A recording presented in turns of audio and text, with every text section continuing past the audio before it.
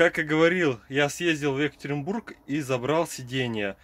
Человек вообще спокойно, хорошо, прям с удовольствием обнялся на руль. И сейчас я вам покажу, что мне в итоге-то досталось. Что это за сиденья такие. Ну вот спинка одного дивана. Ну так, на первый взгляд, нет, они просто грязные, а так вот у них более-менее такой синий цвет да присутствует, светленький. Только, опять же, говорю, почистить надо. А, это поздняя спинка. Это видно по э, темным а, вот этим вот вставкам. То есть, а у ранних они более светлые. Вот еще вторая спинка. Вот тут уже видно, что это ранняя спинка. Потому что, видите, тут какой, ну, цвет темный, а тут светлый. Или там. Все как бы в одном тоне. Вот это вот поздняя сидушка, это ранняя сидушка. А дальше тоже одно раннее сиденье пассажирское или водительское, одно позднее. То есть, либо уже кто-то пытался, ну, покажу вам позже, потому что сейчас я уже тут уложил, время уже час ночи, я тут все в курятнике ковыряюсь, таскаю сиденья. Также вот два поджопа. Единственное, что косячное, это вот. Вот у них вот такие вот дырочки есть. Вот именно по краям все вот они тут рваные. Сидушки в хорошем состоянии оба, только вот опять же по цветам различаются. И спинки тоже, ну в таком на троечку, я бы даже сказал, состоянии. В купе это все сейчас вот вместе с этим сырым ковролином синим жутко так воняет сыростью и плесенью, что это хоть вешайся. Мы сейчас это все загрузили в Хонду, на заднее сиденье в багажник, это воняло просто жутко. Такие вот новости. Привезли мы это все действительно на Хонде с Екатеринбурга. Но благо очень быстро съездили. У чувака гараж находился именно, ну практически только в 50 метрах от того места, где я зимой красил колеса. То есть... Пфф, в конце улицы 8 марта. С учетом я нашел вот эти вот боковые вставки под торпеду синие тоже в более-менее хорошем состоянии. Надо их будет накопить денежку, выкупить за 6 соток.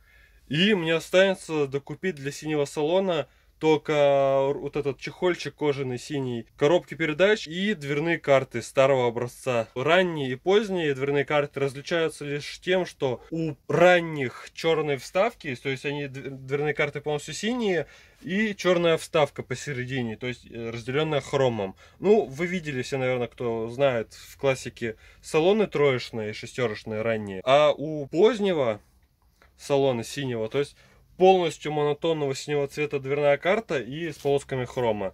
То есть тоже такие довольно старенькие. Так что вот такие вот различия. Я нашел, короче, а, тройку в Кировграде у нас тут буквально за Пермию. Это столько же, как от Тагила до Перми, и еще столько же. Вот там и стоит тройка белая, ушатанная внешнего вида, даже без хрома вся мятая, крашеная. С 25 тысяч человек написал, что снято с учета, либо он снял ее сам специально, чтобы продать, либо ну просто сняли ее с учета. И вот, короче, она на синем салоне раннем. Я очень долго искал, тоже вчера до двух ночи, странный синий салон. То есть вообще на Авито это буквально вот сейчас было единственное предложение, на котором продавали синий салон, либо что-то вот связанное с синим троечным салоном. То есть это именно единственное было объявление, вот которое я сейчас вот закрыл благоуспешно. По поводу той тройки постараюсь я, конечно же, отправить туда людей, договориться как-то еще с человеком, чтобы он отдал дверные карты с этим чехольчиком и, опять же, вставками дополнительно, чтобы были. Либо уж весь салон синий отобрал. Я просто не знаю, еще надо с ним созваниваться, что он скажет. Либо он ее действительно пускает на разбор, раз с учета снято, либо он ее продает и специально снял на учет, чтобы на владелец ее поставил на учет. С нее надо попробовать стрясти салон, потому что других машин на синем салоне, мой поиск вот, зрительный, вот я листал объявления, листал эти картинки, открывал каждое, вглядывался, если там что-то синее, вот, и как бы вот так происходил поиск, и вот нашел только одно, и как раз, ну, благо, вроде как не особо далеко, но самому ехать это не вариант, это целый день туда и целый день обратно, это я вам сто процентов могу сказать. Ладно, ждем выходных, чистим вот эти вот всякие чудеса, вон даже в цвет у меня сегодня кофта, и там уже будет видно, что в итоге будет делаться с этим салоном, будет ли он перешиваться, либо останется таким. Ну, скорее всего, я склоняюсь к первому. Короче, ребята, это пиздец. Оторвало колесо. О, над самого рынка, чуть ли не до ленты, вот здесь чувак на велике словил колесо, бежал. И это, наверное, больше километра. Ну, а вот что, собственно, произошло с колесом. Вот имеется вот такой вот коцик сильный. Тут, видимо, где-то в бордюр он впечатался. Вот, и с другой стороны вот такой коцик, чуть-чуть тут и все. Ну, видимо, на проезжей части он так упал. Все, вот получается у меня обломило на эксцентрике один болт. Вот тут слезала, но это, видимо, диск тормозной. И сломала вот один каленый болт. Аля. Тут еще коцик. Ну, не знаю. Ну, в принципе, легко отделался. Слава богу, что, опять же, в никого колесо не пролетело. Сейчас буду снимать проставку и прикручивать. Вот остался один кусочек здесь. Да, тут чуть-чуть подбило. Ну, в принципе, все на этом. Сейчас Сега мне проставку шлифанет, вот эту херню выкручиваем и попробую поставить обратно колесо. Чему была вся вина? Это вот у меня вот этот суппорт, вот он вот это все вот ходит на направляшках и долбит. И вот из-за этого, то, что мне казалось, что это суппорт долбит, не обращал внимания на эти звуки сучащие. Ну вот и как оказалось. Но так непонятно, это что, либо проставка не была закручена, хотя смотрите, этот закручен, эксцентрик тоже был закручен, а, ну не до конца, ну был хотя бы вставлен. И вот эти два были закручены. Я не знаю как, но видимо все-таки да, не дотянул я зимой, когда ставил.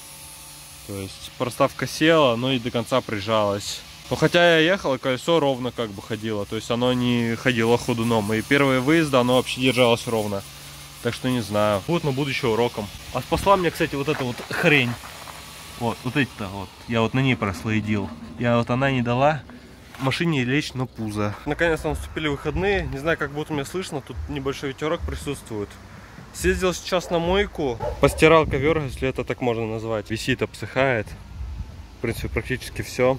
Останется вот только, ну, еще химчисткой дополнительно пройдусь его, если останется, и пропылесошу потом. То по поводу 11 У 11 сейчас я буду красить вот эти вот места, потому что Сега мне площадку под аккумулятор высверлил. Чтобы было хотя бы красиво, я вот эту вот часть подкрашу полностью. И также хочу еще задуть в черный вот это вот все вот место за бампером. И вот тут даже еще чуть-чуть.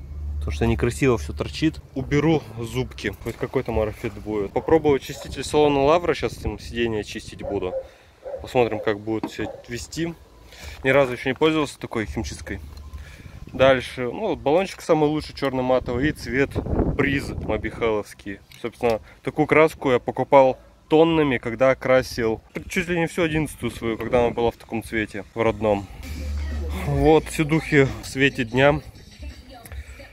Вот, это получается у нас, вот это позднее, это получается раннее. Ну, сейчас я ее почищу, она должна быть еще светлее. Это, видимо, кто-то уже перетягивал, либо, не знаю, выцвело так не знаю, свежий велюр больно.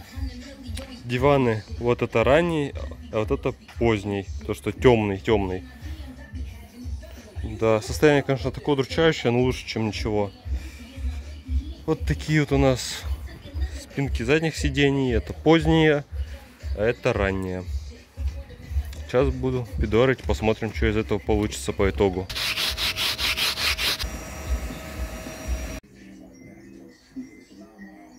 Закончил сейчас чистку сидений.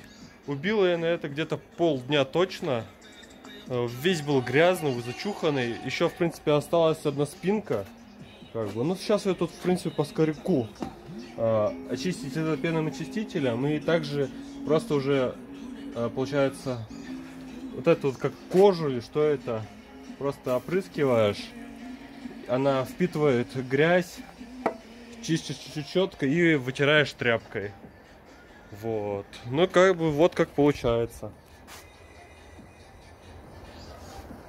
Примерно было то же самое по состоянию. В принципе, неплохо. Как бы я ожидал немного похуже. Но все равно нитки на сиденьях сгнили. Вот эти вот белые прострочки. Второе сиденье, то есть водительское, оказалось вообще каким-то новоделом э, с синей строчкой уже. Вот. Также нету боковых вставок, ну это ладно, я найду какие, с каких-нибудь других шестерочных сидений и покрашу в темно-синий цвет. В принципе, это не так и страшно. Вот. Также сейчас все потихоньку убираю обратно в курятник, аккуратно раскладываю. Сейчас я, наверное, возьму э, пищевую пленку, обмотаю сиденье, чтобы это хотя бы как бы почище сохранилось, получше и не так сильно продавливалось от хранения также нашел уже в продаже, где чувак продает за 6 соток кит-панели, то есть вот эти под торпеду синие в хорошем состоянии. И все. Останется намутить сиденье чехольчик для КПП. В принципе, он так-то нафиг не нужен, у меня будет перенос кулисы кастомный, который я так и не поставил на Рагулыча. Ну ладно. И дверные карты останется найти. В принципе, дверные карты найти возможно. Видел уже пару раз в продаже, но они сразу моментально уходили. Так что надо сразу откладывать на них деньги и выкупать. Первые были, кстати, в таком довольно таком среднем состоянии. А вот вторые, которые видел с вами недавно, чувак и как бы заднюю полку, и половину сидений продавал в ушлепанном состоянии, но в принципе там дверные карты были достойны. То есть из двух комплектов один можно было в любом случае собрать. Но цены очень кусучие на этот салон, сразу говорю.